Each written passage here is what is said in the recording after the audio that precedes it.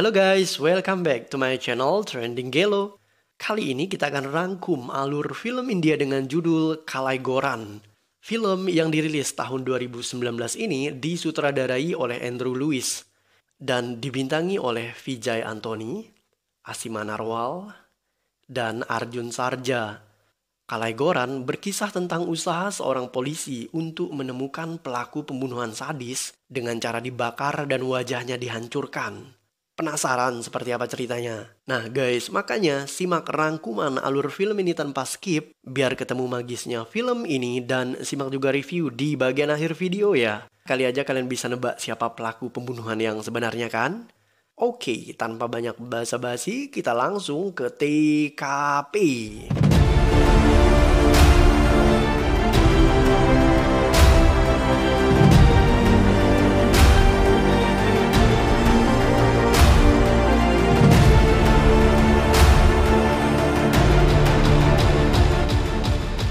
Film diawali dengan adegan di mana seorang wanita dibunuh dengan leher disayat tepat pukul 11 malam.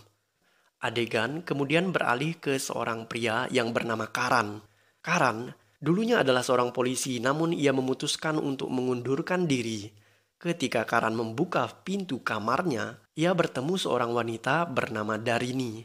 Darini adalah tetangga Karan. Anehnya, setiap kali Darini berangkat kerja, Karan selalu bertemu wanita itu di depan pintu kamarnya. Teman Darini yang bernama Rupa curiga pada Karan. Ia meminta Darini agar berhati-hati terhadap pria itu. Darini membuka pintu kamarnya dan ia kembali bertemu dengan Karan. Wanita itu keluar untuk berbelanja di sebuah supermarket. Di sana, ia bertemu dengan seorang pria bernama Famsi.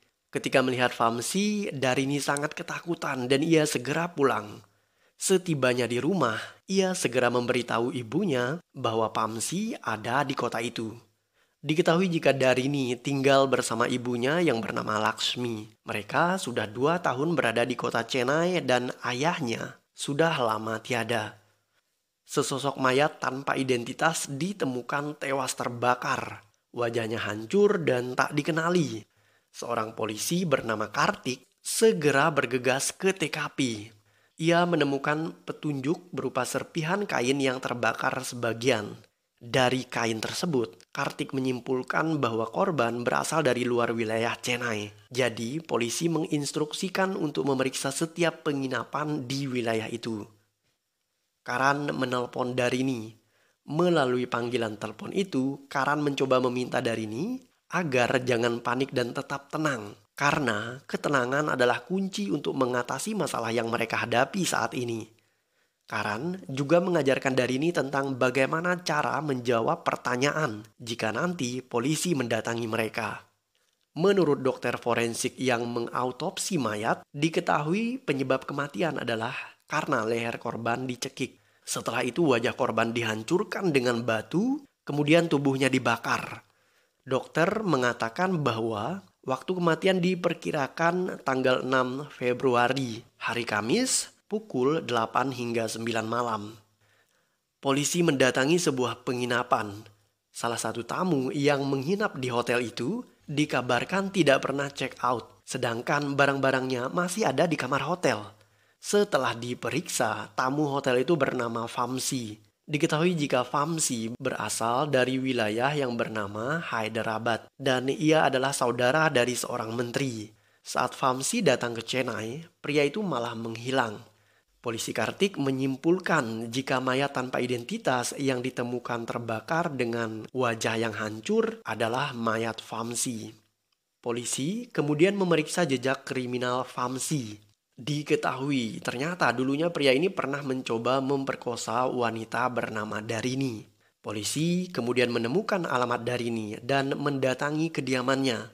Darini dulunya bekerja sebagai sekretaris seorang menteri di wilayah Hyderabad dan sang menteri punya saudara yang bernama Famsi. Famsi beberapa kali pernah mencoba memperkosa Darini namun gagal. Karena takut, wanita itu memutuskan berhenti menjadi sekretaris sang menteri untuk menghindari Famsi. Darini kemudian memilih pindah ke Chennai bersama ibunya yang bernama Laksmi. Mereka sudah menetap di Chennai selama dua tahun. Untuk saat ini, Darini bekerja sebagai eksekutif layanan pelanggan di sebuah perusahaan. Ketika ditanya polisi, Darini mengatakan bahwa pada tanggal 6 Februari, ia pulang dari kantornya pukul 18.30 dan ia di antara pulang oleh rekannya yang bernama Lata. Polisi juga menemui Karan, tetangga Darini. Karan mengatakan bahwa hari itu, tanggal 6 Februari, ia pulang kerja jam 6 sore dan tidak mendengar atau melihat hal aneh terkait tetangganya dari ini. Polisi mendatangi rekan kerja dari ini yang bernama Lata. Menurut Lata, dari ini tidak memiliki kekasih dan ia tak pernah membicarakan tentang Famsi. Selain Lata, polisi juga menginterogasi teman Darini yang bernama Rupa. Rupa mengatakan bahwa ada seorang pria, tetangga Darini, yang terlihat menyukai gadis itu. Polisi menyimpulkan ada yang aneh pada Karan. Pria itu masuk kantor pukul 10 pagi. Namun, ia selalu keluar dari kamarnya dan berpapasan dengan Darini saat wanita itu berangkat kerja pukul 6 pagi. Karena itulah polisi memata-matai Karan. Ketika Darini berangkat kerja, Karan juga terlihat keluar mengikuti wanita itu. Namun, setelahnya diketahui jika pria itu ternyata sedang jogging. Setelah memeriksa data Karan di internet, polisi Kartik mengetahui bahwa dulunya Karan ternyata seorang opsir polisi di Hyderabad. Namun, ia memilih mengundurkan diri dari kepolisian tanpa alasan yang jelas. Padahal sejatinya Karan adalah polisi panutan bagi semua orang karena ia baik hati dan kinerjanya bagus. Kartik menemui Karan. Ia mengatakan bahwa tidak mungkin Darini dan ibunya bisa membunuh Famsi. Kemungkinan ada orang lain yang melakukan itu untuk mereka. Kartik berharap Karan mau bekerja sama dan membantu polisi untuk menemukan pelaku pembunuhan yang sebenarnya. Kartik menambahkan, apa pun alasannya di mata hukum, pembunuhan adalah kejahatan serius dan sebagai polisi ia tidak akan memaafkan pelaku pembunuhan itu. Karan mendatangi kantor polisi untuk menyerahkan diri. Ia mengakui bahwa ia yang telah membunuh Famsi. Karan mengakui bahwa Darini adalah kekasihnya. Karena Famsi mengganggu Darini, Karan kemudian membunuh pria itu.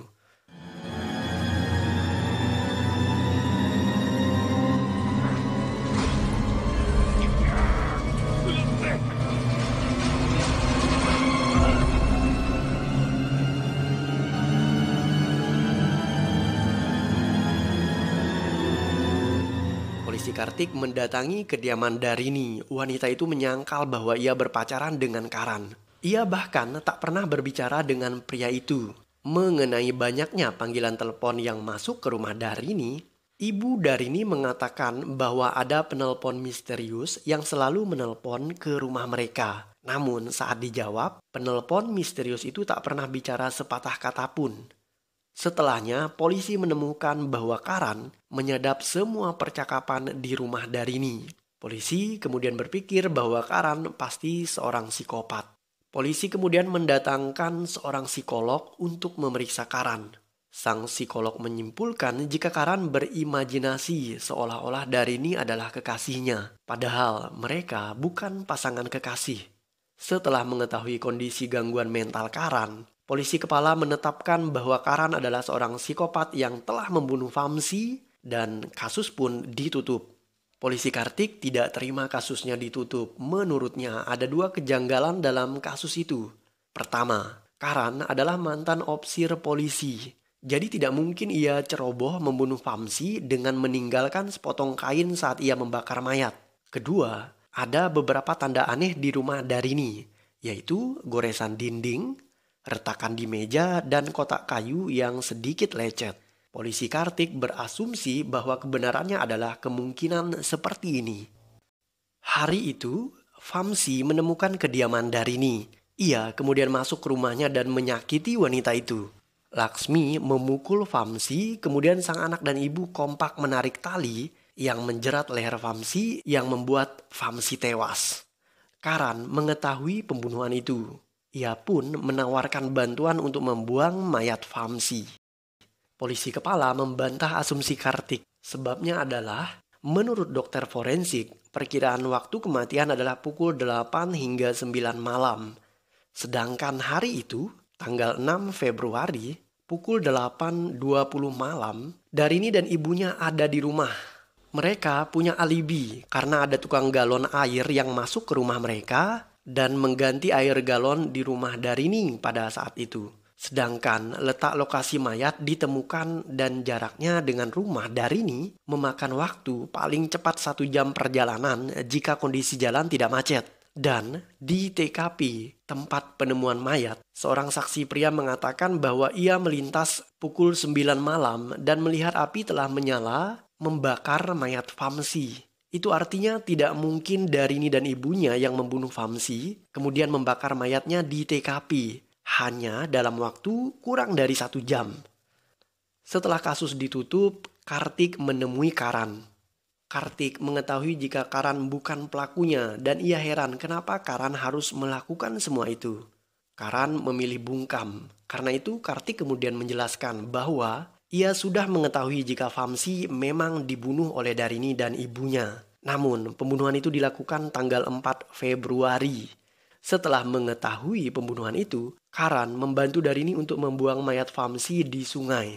Pada tanggal 6 Februari, Karan membunuh orang lain yang bernama Ali. Karan menghancurkan wajah korban dan membakarnya agar tak bisa dikenali.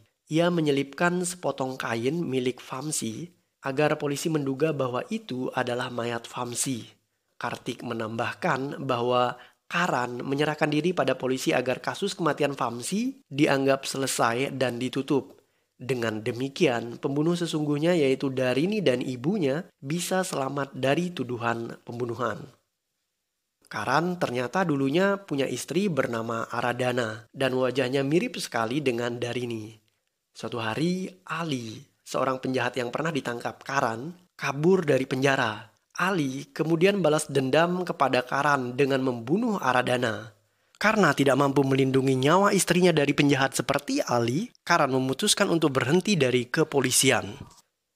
Guys, masih ingat kan adegan di awal film di mana seorang wanita disayat lehernya? Nah, wanita itu adalah istri Karan yang bernama Aradana. Itu sebabnya setiap kali Darini berangkat kerja, Karan pasti keluar rumah untuk menatap wanita itu. Karan melakukan itu untuk mengobati kerinduannya terhadap almarhumah istrinya Aradana.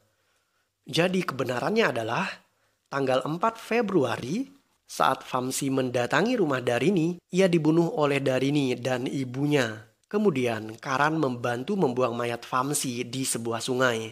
Tanggal 6 Februari, sebelum pukul 9 malam, Karan membunuh Ali dan menghancurkan wajahnya Kemudian membakar mayatnya sekaligus menyamarkan petunjuk agar polisi mengira bahwa mayat itu adalah mayat Famsi.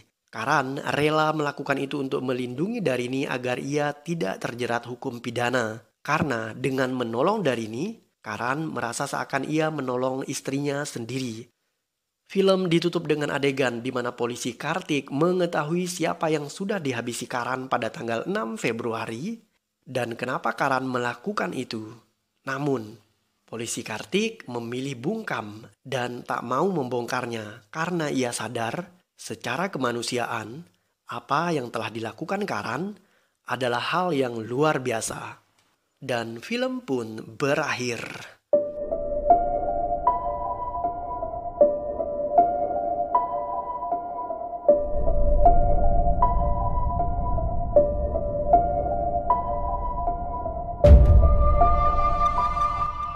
Oke okay guys, it's review time. Menurut aku pribadi, kekuatan utama dalam film ini ada pada alur cerita. Wajar sih sebenarnya. Karena film ini diadaptasi dari novel populer Jepang yang berjudul The Devotion of Suspect X.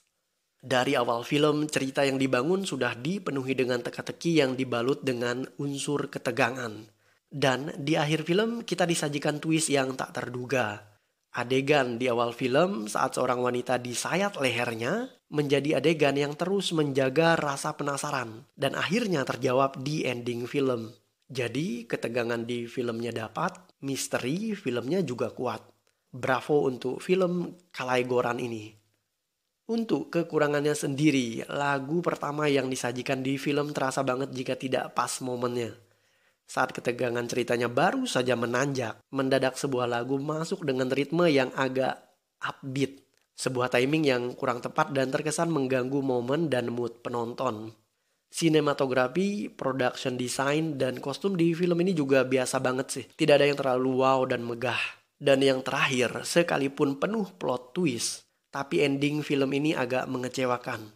Di interval pertama film, aku pribadi berharap film ini akan berakhir seperti film Drisham atau setidaknya sekelas Itefak. Tapi mendadak kecewa saat mengetahui jika Karan pada akhirnya menyerahkan diri ke polisi.